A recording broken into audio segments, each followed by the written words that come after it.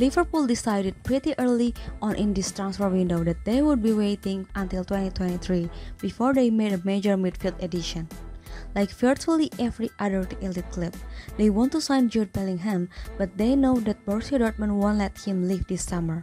So, in that instance, they have chosen to be patient, and that's understandable. After all, Bellingham is potentially a once in a generation talent, the midfield answer to Virgil van Dijk and Alisson. Liverpool had earlier opportunities to make marquee centre back and goalkeeper signings, but they waited, and risk paid off without a doubt. The Reds also hoped to sign Aurelien Tchouameni from Monaco, but instead he chose to join Real Madrid. Liverpool have not pursued any alternative because clearly they don't believe that there's another suitable player of that profile, a young, athletic midfielder who can play as a number 6 or a number 8 at the right price. Many supporters have disputed that stance, picking out a number of candidates whom they believe tick the requisite boxes. Some of those are covered here, but it seems Liverpool's shortlists are exceedingly small. They are going in search of players they regard as virtually perfect, players who are seen to offer guarantees, and that drastically narrows the pool of options. But what the club must understand is that those guarantees don't really exist, and three of their former deals prove it.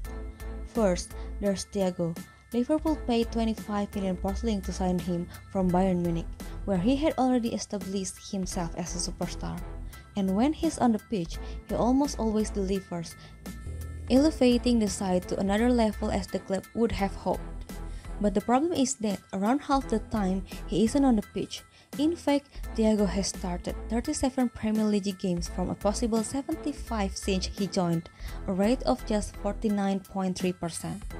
And then there's a double deal from 2017. Alex Oxlade-Chamberlain for 35 million sterling and Naby Keita for an eventual 53 million sterling. Like Thiago, both of those players have been dogged by fitness issues. Keita has missed 53 games since he joined, while Oxlade-Chamberlain has been sidelined for 77. But unlike the Spaniard, they are inconsistent when they do play. Keita has been better than Oxlade-Chamberlain. The club have made that clear by trying to extend his contract, while the Englishman is allowed to run down. And he has had good spells in the side, not least in the second half of the last season. But he's also the fourth most expensive signing in the club's history.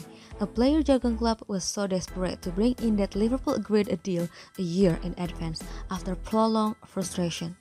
The reality is that when available, he simply hasn't lived up to that lofty billing. He was supposed to take the Premier League by storm, but it seems those expectations were misguided.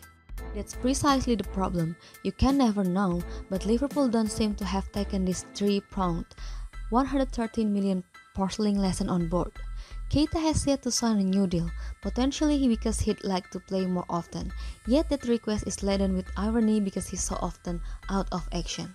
Some would argue that the sale in the final week of the window is the best outcome at this point in that it would effectively force Liverpool into the market for a player who would likely be available a whole lot more.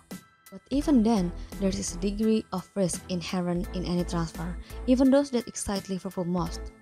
Ultimately, it's a gamble worth taking at this moment in time because the risk of failing to act appears far greater following the dismal opening three games of the new season, with the Bournemouth match hopefully, but not necessarily given their limitation, a turning point.